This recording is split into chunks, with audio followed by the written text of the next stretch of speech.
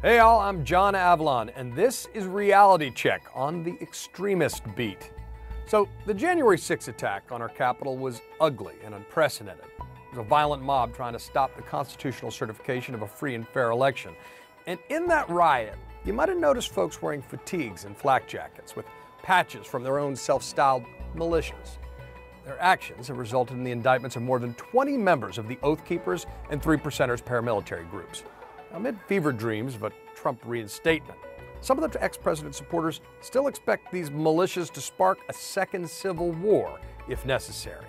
Listen to what one rally goer told CNN's Donie O'Sullivan. Ron, you genuinely believe that he's gonna He's coming back that he could come back as soon as before before the middle of August. and what if that doesn't happen? Huh? What if that doesn't happen? We're going to be in a civil war because the militia will be taken over.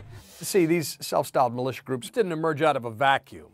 They draw on a long history going back to at least the Ku Klux Klan, a white supremacist terror organization comprised of Confederate veterans dedicated to resisting the rights of freed slaves, fighting the federal government. Fast forward to the 1960s, and a new wave began to emerge, like the Minutemen, who saw themselves as a patriotic resistance against a one world government, doing military drills in advance of what they said was a plan to confiscate all private firearms by the end of 1965. Spoiler alert, didn't happen. They ran afoul of the law, though, after a plot to blow up City Hall in Washington and half baked plans for a cyanide attack on the United Nations building in New York. A decade or so later, so called sovereign citizens groups gained traction, claiming that only local governments were legitimate, making sheriffs the highest law of the land, and using that logic to refuse paying federal taxes. In the 1990s, so called patriot militia groups proliferated, motivated by deadly standoffs with federal agents in Waco, Texas, and Ruby Ridge. Many combined Christian nationalist beliefs and anti government rhetoric that ultimately inspired Timothy McVeigh to blow up the Murrah Federal Building in Oklahoma City, killing 168 men, women, and children. So you can see these self styled militia groups have a long history of creating real violence out of grievances and conspiracy theories that echo across the decades. Well, CNN's Sara Sidner has been crushing it on the extremist beat. She joins me now for an in depth talk about America's militia problem, past, present, and future. Your reporting on the extremist beat has gone deep in a lot of different areas, including these self styled militias. You went to Ohio and you interviewed some of the folks in the hometown of one of the arrested Oath Keepers. What did you learn on the ground there? Um, it was really interesting. You know, that this is a small, small town, Woodstock, Ohio. Um, one of the Oath Keepers, who is currently accused uh, in the insurrection as being one of the leaders, um, was both an Oath Keeper and also had her own small self styled militia. Um, her name is Jessica Watkins, um, and she's currently in jail awaiting trial in the January 6th insurrection and, and her role in that. And we ended up just finding her boyfriend, Jessica Watkins' boyfriend. And we asked him what was going on, you know, how did this all come to fruition? And he says, Oh, well, she was just there to be, and we hear this over and over again, to be security for VIPs. Um, you will hear that with a lot of different of these militia groups, Oath Keepers included. But it's fascinating to learn that when you hear about these groups, it really is, in some instances, a place of belonging for people. Mm-hmm. And we heard a lot about that from her boyfriend, who said that one of the other men who was accused in the insurrection, who was living in this town, living in this little house behind a house, he, he said, Look, he, he was an alcoholic, he was having trouble with these things, and joining our group uh, gave him purpose. Uh, it helped him. Uh, it also ended up with him and her and others inside of the Capitol, side by side. Uh, and now he has also been arrested and accused in the insurrection. And Sara, that's such an important point you make about how these militia groups recruit by offering a sense of belonging, of structure and purpose. But as you also report and is documented, that can lead to something far darker. You've traveled to these militia hometowns, though. That's one of the great things about your reporting. And in one of the reports, we heard from a Michigan sheriff who had some bizarre comments in the wake of a kidnap plot around Governor Gretchen Whitmer. When we come back, we're going to talk about those comments and see what they tell us between the history between law enforcement and these self styled militias. Well, it's just a charge, and they say a plot to kidnap. And you got to remember that are they trying to kidnap? Because a lot of people are angry with the governor, and uh, they want her arrested. So are they trying to arrest, or was it a kidnap attempt? Because you can still in Michigan, if it's a felony, you can make a felony arrest. And uh, it doesn't say if you're an elected office that you're exempt from that arrest. So uh, I have to look at it from that angle, and I'm, I'm hoping that's more what it is. Uh, in fact, these, these guys are innocent until proven guilty, so I'm not even sure if they had any part in it. What's with this occasional sympathy we see between some local law enforcement and these armed vigilante groups? It's one thing, you know, to say it in the privacy of where there's not a lot of people around, eh, you know, and a lot of people suspect that happens, but to see it in person, almost defending um, those who were accused, who of course are innocent until proven guilty, although one of the defendants has pled guilty uh, in this plot. Uh, against uh, Governor Whitmer. It was striking uh, to see that play out. Um, but you asked about the history. And as you know, there is a history of coziness, if you will, between mm-hmm. um, militia groups in particular and county sheriffs.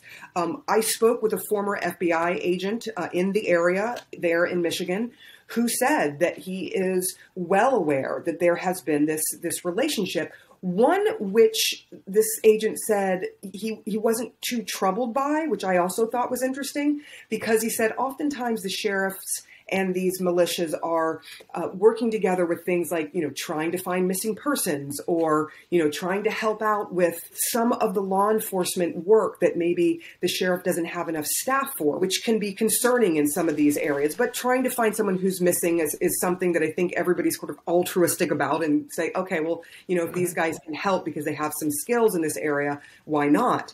And we should say not all sheriffs. The sheriff's association as soon as they saw as soon as they saw what Sheriff Dar Leaf said, they they came after him. They said, "This is completely dangerous. What you are saying uh, about these people and this plot. Um, that, that is absolutely not what we believe. So we shouldn't lump every sheriff into this.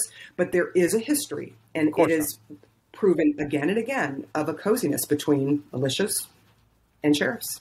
But you also have the other side to this, which is one of the biggest concerns of these militia groups is that the government is coming for their guns. That's what's in their head. Mm-hmm. Conspiracy theories loom large. This idea, particularly that the federal government is out to get them. Uh, there is a long history of of that being part of this um, group of people who believe that there's preparing for something potentially, preparing usually for the federal government to swoop in and, and take away all of their rights. So that's kind of in the back of the minds of these paramilitary organizations. And we should be clear um, that while the Second Amendment does talk of a well regulated militia, which is always what you hear from these groups, that they can exist because the Second Amendment uh, allows for these well regulated militias if you look at the case history, the Supreme Court ruled twice back in 1886 and in 2008, so recently,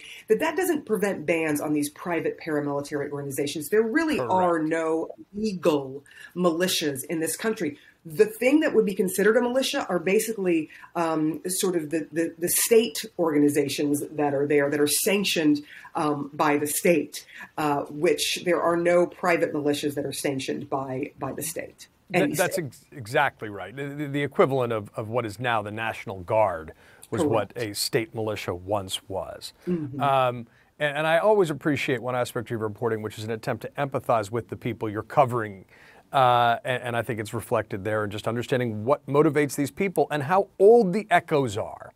Um, whether it's fear of the federal government coming to take your rights, a game that's been played forever, uh, or this elevation of the sheriff as, as the only legitimate local law enforcement. Um, but here's the real deal, right? We know that these self styled militia movements can erupt into violence. We see it over and over and over again. So when you hear this talk about a second civil war, how concerned are you? Not that it will actually happen, but that some folks seem to be increasingly encouraging it. Um, very concerned. Um, and and maybe to be fair, maybe I'm a bit skewed because I delve into these things. I go down the rabbit hole, if I you will. And, and, yes, as you well know. Um, but we've heard this over and over again this preparing for civil war and we were we were hearing it more and more and more. There are some people and not a huge number of people but enough who believe that if they can just spark the right moment if they can just get the right edge if they can just find the right issue um, that they will spark this this civil war. And the civil war interestingly when you think about it yes race is part of it but it's also about the left. It is also about left versus right, conservative versus liberal. There's also a lot of politics injected into that. We do not want a civil war or anything. We want to exercise every possible way before that comes an option. Is that an option in your mind, a We civil not- war? I will not fire the first shot. I don't think that we're going to see that, you know, come to fruition anytime soon, but we did see what happened on January 6th. And that, for a lot of people, was an example of what they could do. Now, my fear is you have to worry about state capitals. What we know is that accountability matters. That every time these groups have been beaten back, sometimes it's after a horrific event like the Murrah Federal Building. But prosecution, enforcement, that has its own logic at depressing these organizations. But the accelerationist rhetoric that you describe throughout all these groups, really the Leninist idea that the worse it gets, the better it gets, is deeply embedded. And unless there is total accountability for January 6th, you're right. We could see more of this. And that's the heart of the militia problem in America, past, present, and future. Sara Sidner, thanks for being part in our CNN Justice League on the Extremist Beat. It's good to see you. Thank you, John.